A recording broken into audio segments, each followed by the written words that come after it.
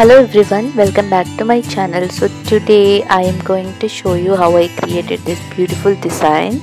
Before we start please don't forget to hit the subscribe button for more such videos.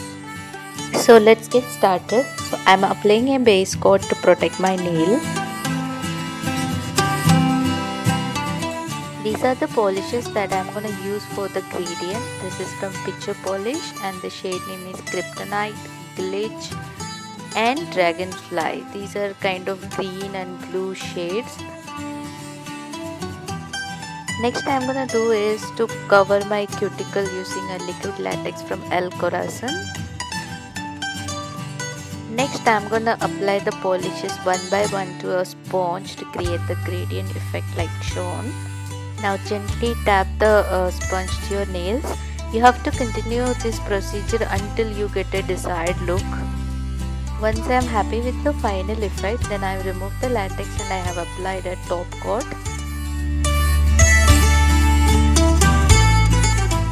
Now that my gradient is ready, I am gonna stamp a design over this. I am using Mundo De Unas black stamping polish and KADS holographic stamping polish. I am also using a transparent uh, stamper to pick up the image. The stamping plate that I am gonna use is Cooi 032 I got this stamping plate from AliExpress and this is one of my old stamping plate. So first I'm gonna stamp the black images on the nails and followed by I'm gonna use the holographic stamping polish. This is a kind of layered stamping so I'm stamping the black first and then I'm stamping the silver holo on top of that. So this basically creates a 3D effect and the design looks much more more beautiful. Once you're done with the stamping, remove the liquid latex and clean up your cuticle area using a brush and acetone and then you can apply a top coat and seal your design. So that's it and we are done with this design.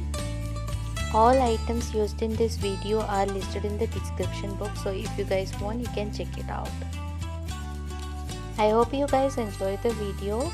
If you like this video please don't forget to like, share and subscribe and also please don't forget to hit the bell icon. Thank you. Thank you for watching. Bye